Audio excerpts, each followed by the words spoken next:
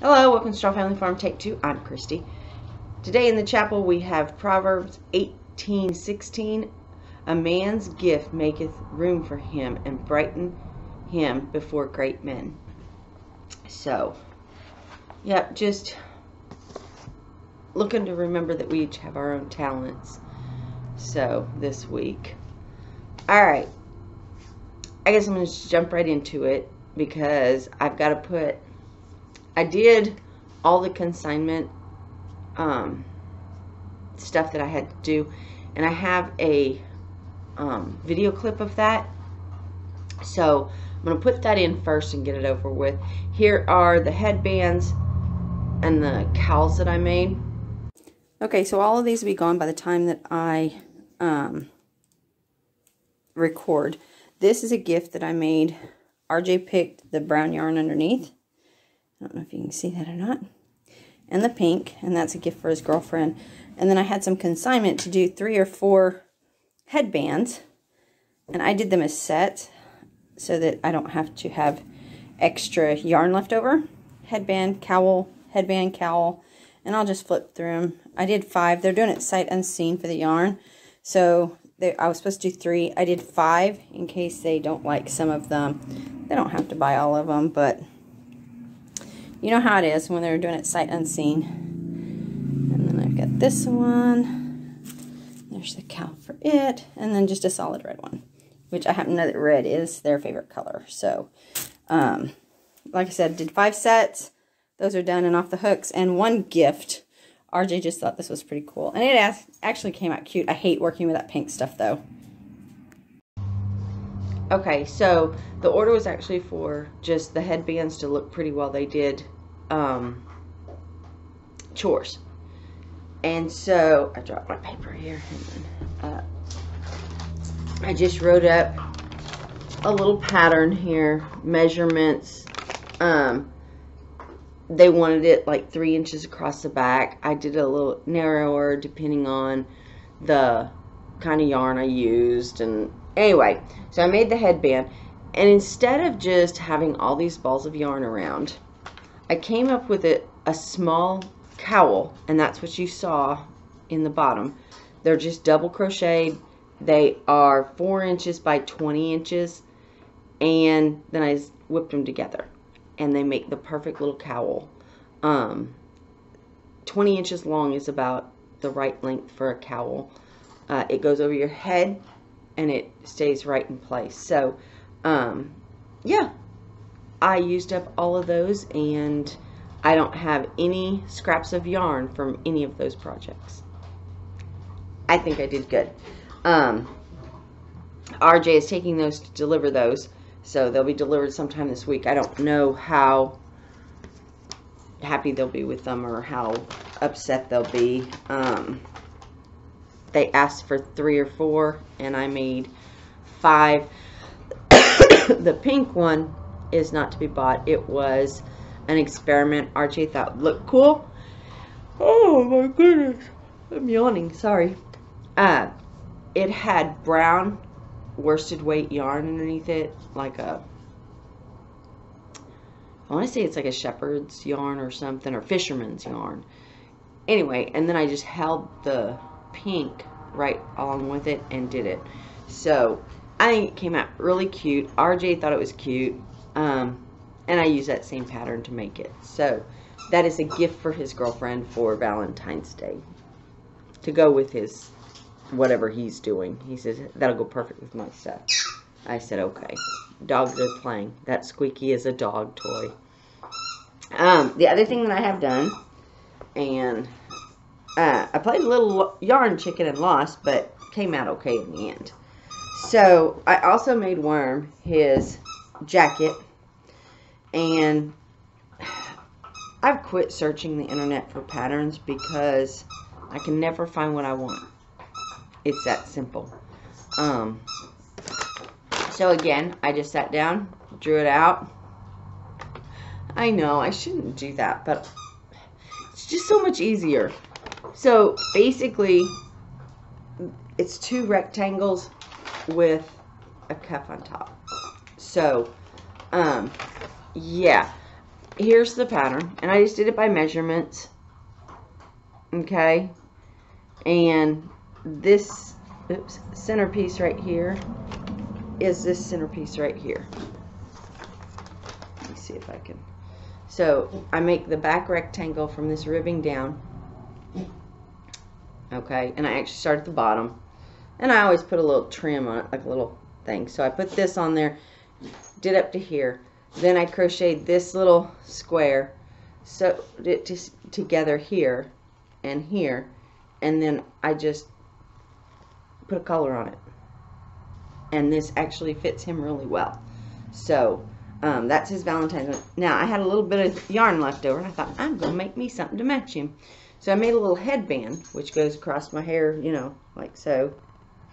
But I played yarn chicken. I got to the last stitch and I had nothing to stitch it up with. So I just looked in my thing and I had this little bitty ball of yarn. This is going to be under my hair so nobody's going to see. So I don't care. It holds it together. Doesn't look pretty, but it works for me. And it's mine. It's not like I'm selling it or giving it away. If I was selling it, I would have ripped out that row and used that to stitch it together. One row. I don't know if it would have made that big of a difference. I like it. Um, the only thing I'm finding is I did wear this one day and all that silver stuff is breaking and I had to trim off a lot of it and pull it through. so, glad I didn't make one for somebody else with this because I don't like that that stuff is breaking. We'll see how long this one lasts. This is for one for Valentine's Day. Will match at work. So I do have to work Valentine's Day. So him and I will have little matching jackets. Um, it is getting cold here. So this will be perfect. All right. Let's see here. So I have gone to just doing this. Now, I have another organization thing. It probably doesn't go in right here. Sorry about the crackling. It probably doesn't go in right here. But I found an app, or I was told about an app. I didn't find it. Um, I heard about this app, and I'm not using it the way that it was intended to use. But it is called, let me see here. What is this thing called? Yarn? Crochet Land? Let me see here. Yeah. Crochet Land. Sorry. And it has an app. I don't know if you can see that. It's kind of because of the eh, the windows black there. Probably right there. You really can't see what's on my phone. But um, there's a picture of each project, okay, like right here. And when you tap on it, it tells you, wish you guys could see this. There we go. No. Not going to let me really. Okay, so tells you how long it took me. If you do it right, I just put it in. Um, if you you hit the button start when you stop. So when you, it will track your total time. You hit start and stop when you start and stop working on a project. I sat down to crochet. It took me two hours to draw up that pattern and do Worm's jacket and the little headband thing. Okay. So all I did was type in two hours. But what I am using it for um, is you can track your supplies. You put in how much your yarn costs and then it also tells you what you should be selling things for. Okay. But the part I like, and this is what I've been using the most of, is I can take a picture and take a picture of the piece of paper that I wrote my pattern on. So I have all of his pictures that I took two pictures, put them in there, and then I took a picture of the paper that has my pattern on it. So I have that one. The ear warmer, same thing. It only took me like an hour and a half to do that one. Okay, so it shows you I've got four, but I didn't do it per project. All of them are in there. Every time I use a pattern, I put it in, and then I have the pattern right there. So if I want to go back and replicate something, I've got the measurements and the pattern that I used. Um, I also have put in my fleece here. Uh, I haven't decided if I'm going to use it for time or not because I enjoy spinning.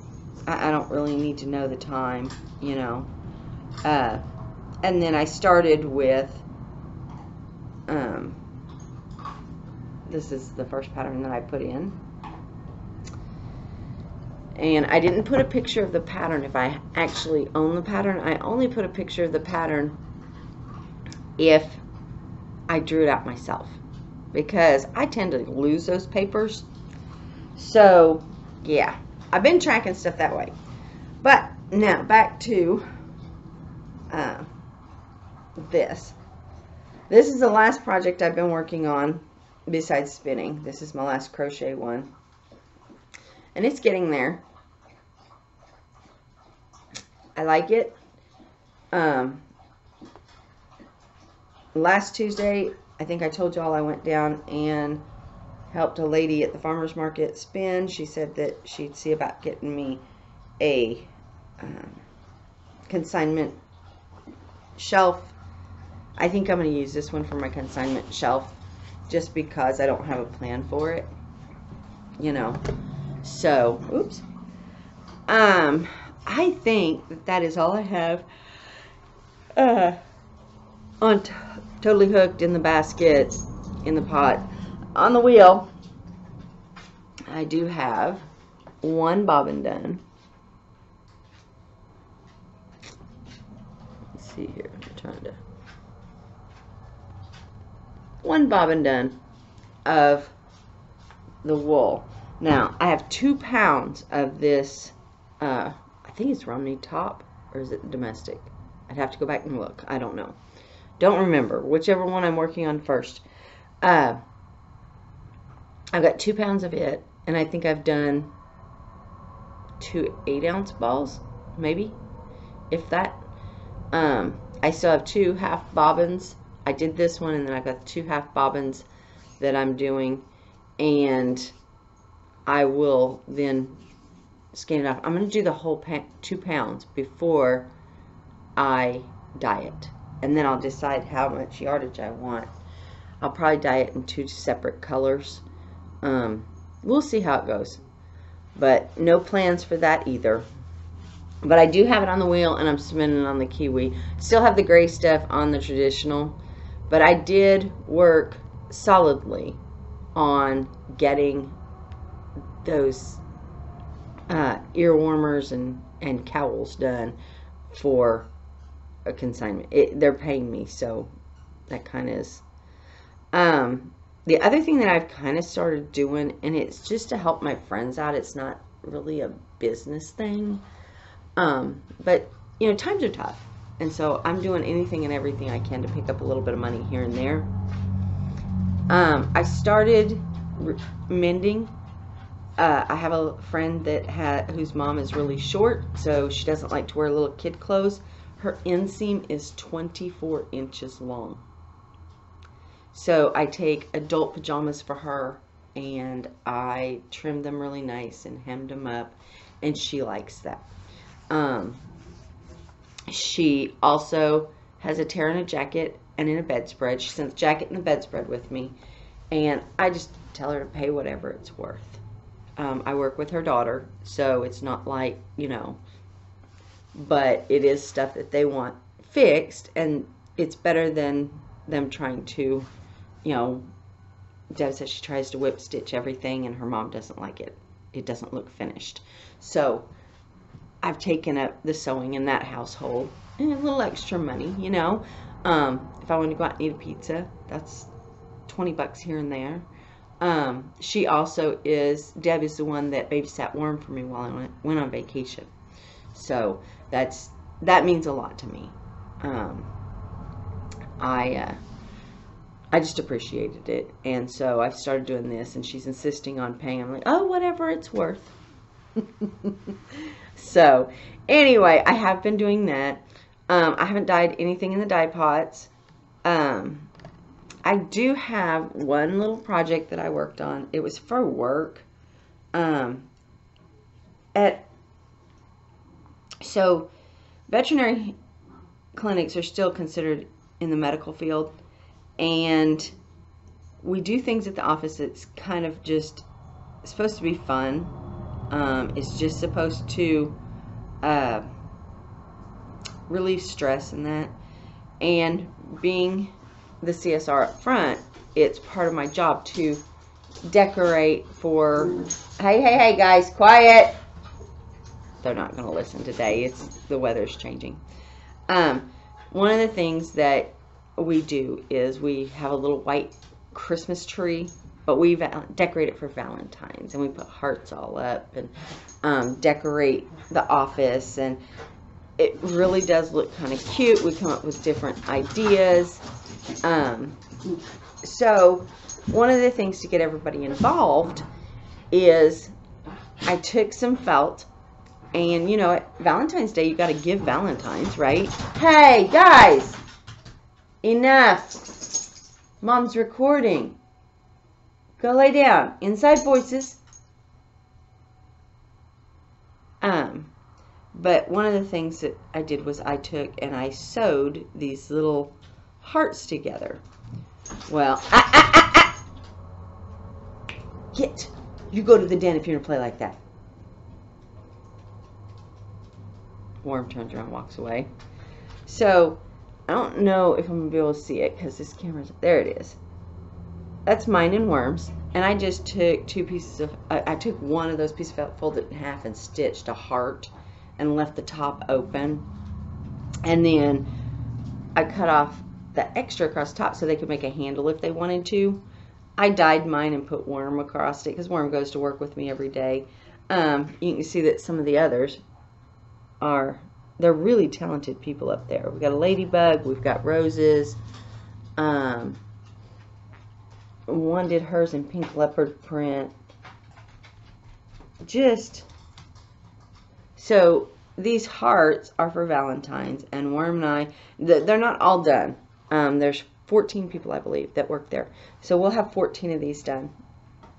And then for Valentine's, of course, we're going to put all our little Valentines in there.